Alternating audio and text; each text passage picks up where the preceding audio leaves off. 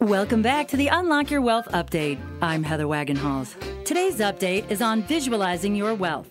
An important part of achieving wealth is to know what it is you want, know how you will know when you get there, and have a specific plan.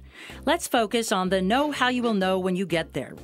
If it's a dream home or a luxury car or a fancy trip, what is it? How big is it? What's the cost? What's the color? What options do you want on it? Once we define what it is that we want, we need to carve it into our memory with as much emotion and sensory awareness as we can so our internal motivation grows so high we can't help ourselves but fly out of bed every morning, every day to achieve it. The more emotion you can place on your goal, the faster you will achieve it and the easier it will become. For more great resources to help you create unlimited wealth and happiness, visit our website at crackingyourmoneycode.com. I'm Heather Wagenhals. Now go out and unlock your wealth today.